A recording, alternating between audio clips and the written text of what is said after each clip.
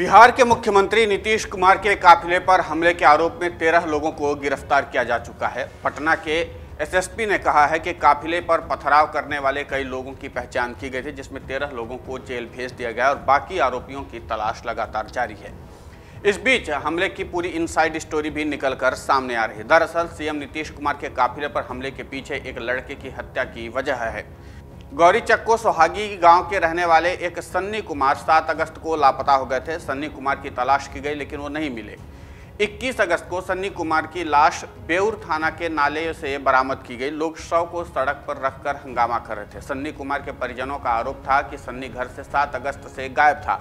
शिकायत के बाद गौरीचक थाने ने मामले के आरोपी से पैसा ले लिया और कार्रवाई नहीं की। पुलिस अगर एक्टिव रहती तो सन्नी को बचाया जा सकता था थाना अध्यक्ष पर लापरवाही करने का आरोप भी लगाया गया और कहा कि कार्रवाई में ढिलाई बरती गई। आरोपियों को सजा दिलाई जाए और सन्नी के शव को सड़क पर रखकर हंगामा लगातार किया जा रहा था। तभी वहाँ से राज्य के मुखिया नीतीश कुमार का काफिला आ गया। जिस वक्त मुख्यमंत्री के साथ चलने वाली गाड़ियों पर हमला हुआ, उस वक्त सीएम नीतीश कुमार इस काफिले में मौजूद नहीं थे। गौरी चक के सुहागी गाँव में हुए इस हमले में सीएम नीतीश कुमार के काफिले की तीन से चार वाहनों के शीशे जो हैं वो टूट गए। गौरतलब है कि रविवार को मुख्यमंत्री नीतीश कुमार को कारकेड में चलने वाले वाहनों पर पथराव किया गया था। किस्मत की बात यह रही कि जिस वक्त मुख्यमंत्री कारकेड में चलने वाली गाड़ियों पर हमला हुआ था, उस वक्त वो वहाँ पर उस काफिले में ही नहीं मौजूद थे। गौरी चक के सुहागी गाँव हुए इस हमले में सीएम के काफिले में तीन चार वाहनों को भारी नुकसान हुआ है। घटना रविवार शाम पाँच बजे की बताई गई थी। यह काफिला सोमवार को सीएम के दौरे के लिए एडवांस पार्टी के तौर पर किया गया था। नीतीश कुमार गया में निर्माणाधीन रबर डैम का निरीक्षण करने जाने वाले थे और ज़िले में सूखे की स्थिति पर एक बैठक की अध्यक्षता भी करना था। उनको नीतीश कुमार हेलीकॉप्टर से गया जाएँगे और एक दिन पहले ही गाड़ियों का काफिला जा रहा था। बिहार के मुख्यमंत्री नीतीश कुमार के काफिले पर हमले के आरोप में तेरह लोगों को पहले ही गिरफ़्तार किया जा चुका है। पटना के एसएसपी ने कहा कि हमला करने वालों की पहचान पहले ही कर ली गई थी, जिसमें तेरह लोगों को जेल भेज दिया गया है।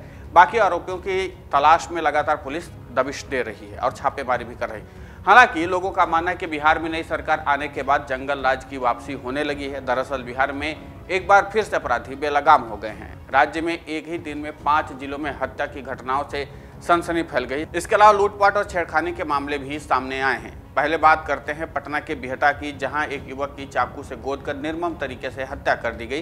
वहीं खगड़िया के अलौली थाना क्षेत्र के बनहेर स्थित बाँध पर बाइक सवार बदमाशों ने गोली मारकर एक चौकीदार की हत्या कर दी, जबकि एक चौकीदार को घायल कर दिया। इसके बाद सहरसा के सिमरी बख्तियारपुर के रायपुरा पंचायत स्थित रघुनी रेलवे स्टेशन से पश्चिम बाबा स्थान के पास देर रात अपराधियों ने अपने घर बुलाकर 28 वर्षीय युवक को घेर कर गोली मारकर हत्या कर दी। अपराधी शव छोड़ करके फरार हो गए। वहीं छपरा में तीन दोस्तों ने मिलकर अपने पुराने दोस्त की ही हत्या कर दी। हत्या के पीछे ज़मीन विवाद को कारण बताया जा रहा है। कटिहार में फलका थाना क्षेत्र के मुस्लिम बस्ती बिस्मिल्लाह मस्जिद के निकट घर में सो रहे आंगनबाड़ी सहायिका के पति मोहम्मद सलाउद्दीन को अज्ञात अपराधियों ने गोली मारकर जख्मी कर दिया है। स्थिति गंभीर बताई जा रही है। मुख्यमंत्री नीतीश कुमार के गृह ज़िले नालंदा में एक दलित महिला के साथ दबंगों ने छेड़खानी की। इस दौरान महिला के विरोध करने पर परिजनों को मारा गया। गोलियाँ भी चलाई गई। पुलिस मुख्य दर्शक बनी रही। शायद राज्य से कार्रवाई की परमिशन नहीं मिली थी। भाजपा नेता अमित मालवी ने ट्वीट करते हुए लिखा कि बिहार में अब दलितों और पिछड़ों को प्रताड़ित किया जा रहा है। मीडिया रिपोर्ट के अनुसार बेगूसराय में एक होटल में लूटपाट के दौरान उसके मैनेजर को गोली मारकर जख्मी कर दिया गया। बक्सर के शहर में रामरेखा घाट स्थित रामेश्वर नाथ मंदिर में चोरों ने मूर्ति से सोने की आँख चोरी कर ली है।